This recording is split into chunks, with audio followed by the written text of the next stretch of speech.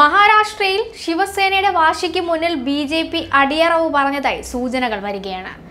മഹാരാഷ്ട്ര മുഖ്യമന്ത്രി പദം പങ്കുവയ്ക്കണമെന്ന് സേനയുടെ ആവശ്യം അംഗീകരിക്കുമെന്നും അതെഴുതി നൽകുമെന്നും ബി ജെ പി നേതാവ് സുധീർ മുഗന്തിവാർ വ്യക്തമാക്കിയിരിക്കുകയാണ്.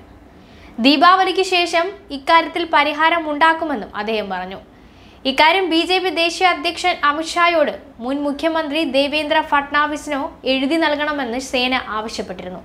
എങ്കിൽ മാത്രമേ സർക്കാർ ഉണ്ടാക്കാൻ കൂടെ നിൽക്കൂവെന്നും സേനാ നേതാവ് ഉദ്ധവ് താക്കറെ വ്യക്തമാക്കിയിട്ടുണ്ട്. താക്കറയ്ക്ക് നല്ലൊരു പരിഹാരം ലഭിക്കുമെന്ന് തങ്ങൾ ഉറപ്പു നൽകുന്നതായും സുധീർ പറഞ്ഞു. ദീപാവലിക്ക് ശേഷം ഫട്നാവിസ് ചന്ദ്രകാന്ത് പാട്ടീൽ അമിത്ഷാ ഉദ്ധവ് താക്കറെ എന്നിവർ ഇക്കാര്യത്തിൽ ചർച്ച നടത്തും. അടുത്ത അഞ്ചു വർഷത്തേക്ക് ഒരു പാർട്ടിയിൽ നിന്ന് മാത്രമാവില്ല മുഖ്യമന്ത്രി വിശാല സഖ്യത്തിൽ നിന്നാകുമെന്നാണ് അദ്ദേഹം പറഞ്ഞത്. ശിവസേനയെ സർക്കാർ ഉണ്ടാക്കാൻ ക്ഷണിച്ച കോൺഗ്രസിനും സുധീർ മറുപടി നൽകി. പുലി പുല്ല് തിന്നില്ലെന്നും അതുകൊണ്ട് തന്നെ വിശാല സഖ്യത്തിൽ നിന്ന് തന്നെയാകും സർക്കാരെന്നും അദ്ദേഹം പറഞ്ഞു. പുതിയ സർക്കാരിൽ ആദിത്യ താക്കറെയെ മുഖ്യമന്ത്രിയാക്കണമെന്നും സംസ്ഥാനത്ത് രണ്ടര വർഷ ഭരണ ശിവസേനയ്ക്ക് തരണമെന്നും രണ്ടര വർഷം ബി ജെ പി ഭരിക്കട്ടെ എന്നുമാണ് ഉദ്ധവ് താക്കറ അധ്യക്ഷയായ യോഗത്തിൽ സേനാ എം എൽ എമാർ ആവശ്യപ്പെട്ടത്.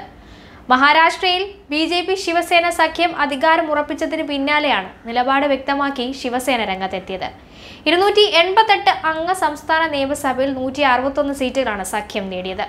ബി ജെ പിക്ക് നൂറ്റിയഞ്ച് സീറ്റുകളും ശിവസേനയ്ക്ക് അൻപത്തി ആറ് സീറ്റുമാണ് ലഭിച്ചത്. കോൺഗ്രസ് നാൽപ്പത്തിനാല് സീറ്റുകളും എൻ സി പി അൻപത്തിനാല് സീറ്റുകളും നേടി. ലോക്സഭാ തെരഞ്ഞെടുപ്പിന് മുൻപ് അമിത്ഷാ ഫിഫ്റ്റി ഫിഫ്റ്റി ഫോർമുല വാഗ്ദാനം ചെയ്തു. അതുപോലെ രണ്ട് സഖ്യകക്ഷികൾക്കും രണ്ടര വർഷം വീതം സർക്കാർ നടത്താനുള്ള അവസരം ലഭിക്കണം. അങ്ങനെ വരുമ്പോൾ ശിവസേനയ്ക്ക് മുഖ്യമന്ത്രി പദം ലഭിക്കും. ഭരണകാലയളവിൽ ബി ജെ പിയും ശിവസേനയും അധികാരം തുല്യമായി പങ്കിടണമെന്നും ആദ്യത്തെ രണ്ടര വർഷം മുഖ്യമന്ത്രി പദം നൽകണമെന്നും ശിവസേന ആവശ്യപ്പെട്ടു. കൂടാതെ മന്ത്രി പദവികളിൽ അൻപത് ശതമാനവും നൽകണം. എന്നാൽ ആഭ്യന്തര വകുപ്പോടെ ഉപമുഖ്യമന്ത്രി പദത്തിന് ശിവസേന വഴങ്ങിയേക്കുമെന്നും സൂചനയുണ്ട്. എന്നാൽ ശിവസേന പിന്തുണയ്ക്കായി സമീപിച്ചാൽ പാർട്ടി ഹൈക്കമാൻഡ് ചർച്ച ചെയ്ത് ഉചിതമായി തീരുമാനമെടുക്കുമെന്ന് മഹാരാഷ്ട്രയിലെ മുതിർന്ന കോൺഗ്രസ് നേതാവ് വിജയം വടത്തേവാർ അഭിപ്രായപ്പെട്ടിരുന്നു. ശിവസേനയെ പിന്തുണയ്ക്കുന്നില്ലെന്നാണ് എൻ സി പി നേതാവ് ശരത് പവാർ വ്യക്തമാക്കിയത്.